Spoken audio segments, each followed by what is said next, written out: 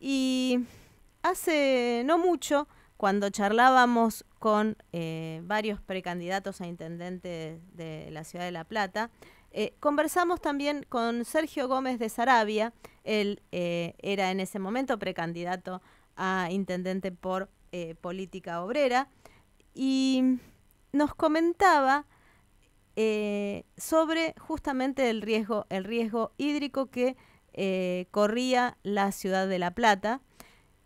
Por eso quisimos llamarlo para, para conversar sobre este tema y le damos los buenos días. Buenos días, Sergio. Virginia San Román te saluda. ¿Cómo estás? Hola, buenos días, Virginia. Muy bien. ¿Y usted? Muy bien, muy bien. Gracias. Eh, lamentablemente, eh, hay que decirte, tenías razón. Bueno, sí, lamentablemente sí. Eh, lo cierto es que estaba todo el escenario predispuesto a que a la primer tormenta encontremos eh, la ciudad bajo el agua. Ya se venía viendo con, con pequeñas lluvias, que los barrios quedaban abnegados. Ahora en el día de ayer, ya a la mañana, con, con casos extremos de 100 mililitros, pero incluso en barrios donde llovió menos, de, como los hornos, que a, la mañana registraban 50, 60 mililitros, ya, ya teníamos las casas inundadas. Eh, y bueno, esto, esta conclusión se desprende de, del análisis que, que habíamos desarrollado con mi partido, se desprende, bueno, de, ver la, destrucción que se ha desarrollado sobre las zonas de amortiguación de lluvias, la edificación indiscriminada y la falta de obras, ¿no? O sea, un cóctel ideal para que una ciudad como, como La Plata, que está atravesada por los arroyos, que no tiene una altura tampoco muy por encima del, nivel del mar, eh, se encuentre ante una situación de, emergencia. Eh, lo, lo interesante acá de, de cara a esta inundación es ver cómo se vuelven a ver los choques que hay al interior de las de los partidos políticos como de la misma forma que se trata en la campaña electoral eh, por un lado el intendente dando una respuesta escueta y por el otro lado la provincia sin coordinar entre ambos una entrega eh, de ayuda que sea eficaz directamente en los barrios Claro, eh, empezamos, empezamos a, a ver de nuevo, como, como vos decís, esto de tirarse, como se dice en el barrio, ¿no? Patear la pelota para adelante, tirarla para, para el costado, no es, es responsabilidad del intendente, el intendente de la provincia no hizo, no hizo las obras.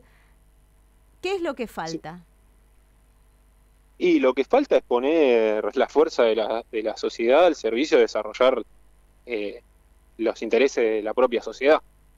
Eso es, eh, es fundamental. O sea, ¿a qué me refiero con esto? Los trabajadores, los que impulsamos la economía en el país, hoy en día estamos relegados a intereses que no son ajenos. Por ejemplo, a pagar una deuda que se está comiendo eh, los fondos del Estado, está fomentando una devaluación que destruye los salarios. Por ejemplo, acá en la Ciudad de La Plata, bueno, a proyectos eh, inmobiliarios que, que, bueno, ponen en, ponen en jaque cualquier infraestructura que se haya desarrollado para, eh, para contener inundaciones. Después, por otro lado, bueno, falta obra pública para eh, sanear eh, los arroyos, faltan obras de conservación en las laderas de los arroyos, faltan toda una serie de, de, cuestiones que tienen que ver con la urbanización de los barrios, centros de atención de salud, centros de, de primeras de jardines de primeras infancias, también bueno lo que te decía de, de obras hidráulicas que son, que son fundamentales para, para poder eh, desarrollarnos en armonía con la naturaleza y con los acontecimientos naturales que se desarrollan. Y como te estaba diciendo recién, esto no está en la agenda eh, del, del, gobierno actual ni de un futuro gobierno, que va a estar completamente condicionado a los dictámenes del FMI, que tienen que ver con una devaluación brutal, un ajuste fiscal y este, el desguace de las precarias condiciones de vida en las que hoy se desarrollan las familias trabajadoras. ¿Qué pasa, con, ¿Qué pasa con los asentamientos? Tenemos, recién nos decía eh, eh, una agente de salud de, los hornos que el asentamiento que se conoce como la toma de, planeadores, ¿no? del ex club de planeadores, quedó todo bajo el agua. Bueno, mira, este, ahí los asentamientos han sido las zonas más afectadas. El, particularmente el asentamiento del ex club de planeadores está en una zona que eh, ya se había anunciado que tiene extrema vulnerabilidad con respecto a los desbordes de los ríos. Eh, como te decía recién, acá hay que arrancarle al poder estatal un plan de obras públicas, que no lo va a entregar de buena manera si no es a través de la organización de los trabajadores y el impulso de los reclamos y la coordinación, porque hoy, viste, hoy se inundó, pero ayer era la es, la inseguridad y anteayer es el salario. Entonces, la necesidad de coordinar todos estos reclamos que tienen que ver con la vida del trabajador eh, es fundamental hoy en día para poder arrancar las, eh, las inmediatas necesidades que tenemos para poder eh, desarrollarnos, desarrollar nuestra familia, desarrollar nuestra vida. Está completamente negado por la carestía que hoy estamos atravesando, por el abandono eh, que hay en los que son los planes de vivienda, los planes de infraestructura, los planes de obra pública.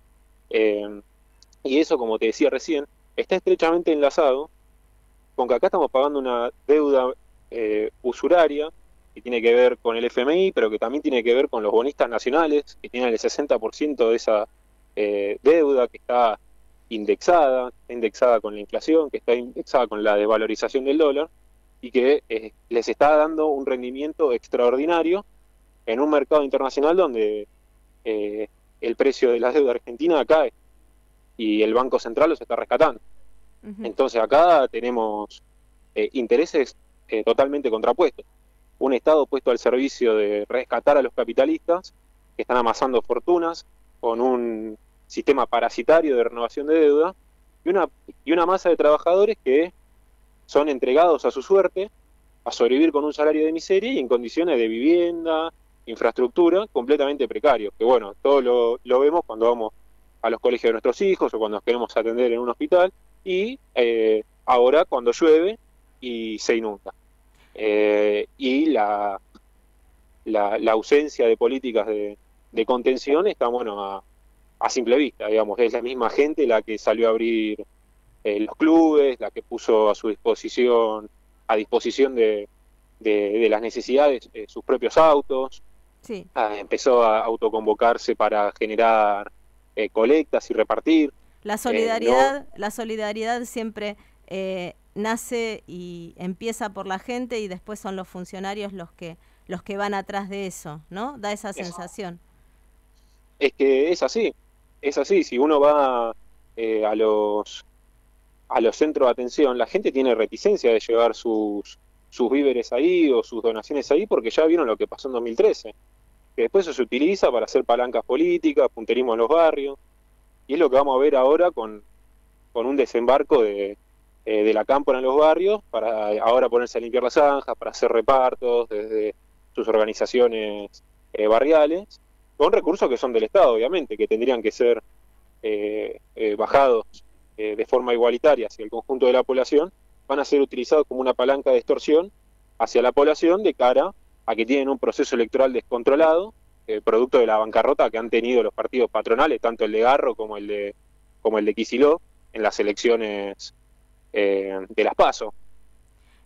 Garro puede salir, a tu entender, ¿no? Bien parado o, o, no tan mal parado de alguna manera eh, después de, este episodio de ayer? Mira, a Garro le faltó decir que no se inunda más en, la, en su campaña de, de, las PASO, porque estuvo alardeando por todos lados de que estaban las obras hechas, que eh, lo que pasó en 2013 dejó, dejó obras para que no vuelva a pasar, y ayer yo lo escuchaba diciendo que fue una lluvia histórica, eh, y bueno, eh, lo cierto es que, como te decía recién, eh, para la mañana de ayer, que ya estaba todo inundado, no habían caído 100 milímetros, habían caído 95 en Echeverría y 60, 70, 80 en Los Hornos, San Carlos y el futuro. Esto contrapuesto contra los 395 que cayeron en 2013. O sea, estamos ante menos de un cuarto de la lluvia que tuvimos en 2013 y tenemos un colapso de la ciudad con supuestas obras de contención que iban a, remediar esta situación. Eh, no hay no hay forma tanto ni de que el gobierno provincial ni de incluso el propio eh, municipal, pero si lo llevamos al nacional también. O sea, cuando vos tenés una situación eh, de este tipo, que puede suceder en base a que, bueno, eh, venimos con el desarrollo de una sociedad sumamente desordenada, uno tiene que volcar, si tiene las riendas eh, del Estado, tiene que volcar el conjunto de las fuerzas eh, disponibles a contener una situación de emergencia. Eso no se ha visto. Eso no se ha visto. Los que se han volcado a las calles son los propios trabajadores, los propios vecinos, que en solidaridad han salido a conseguir las donaciones, han salido a repartirlas en sus propios vehículos y están completamente desconfiados de cualquier ayuda estatal, eh, por esto que te decía recién, sabiendo que, que es ineficaz, que no llega, que lo utilizan como palanca política para atraccionar votos hacia su, hacia su granjita. Y esto, ya las conclusiones están sacadas, se vio en las elecciones de, de las PASO, están en una bancarrota, la gente está eh, descreída. Ahora, la idea es de dónde ahora sacamos los trabajadores una iniciativa para poder eh, salir de este callejón en el que estamos. Nosotros lo que estamos diciendo es, bueno, eh, coordinemos las luchas. Ahora, cuando más o menos estemos ordenados en nuestro barrio, tenemos que salir a reclamar que eh, se atiendan nuestras necesidades, como te decía recién, y coordinar con otros espacios, porque hoy son los inundados, ayer fueron eh, los casos de inseguridad, anteayer fueron la cuestión de la devaluación del salario. Entonces acá necesitamos una salida de conjunto. Y para eso necesitamos poner el programa de los trabajadores eh, a discusión. Y tenemos que entender que esta crisis tiene una profundidad eh, tal que no va a haber una salida en los términos del régimen que estamos atravesando, sino más bien una profundización y un agravamiento. Muy bien, muy bien. Eh, Sergio, muchísimas gracias. muy, muy claro tu, tu, postura y bueno, veremos ahora qué es lo que nos dicen tanto los funcionarios municipales como los funcionarios de la provincia de Buenos Aires, que eh, en algún punto también tienen su, su cuota aparte en, en estas cuestiones de manejo hídrico de, de la zona. Bueno, muchísimas gracias por el llamado. No, por favor, gracias a vos por habernos atendido.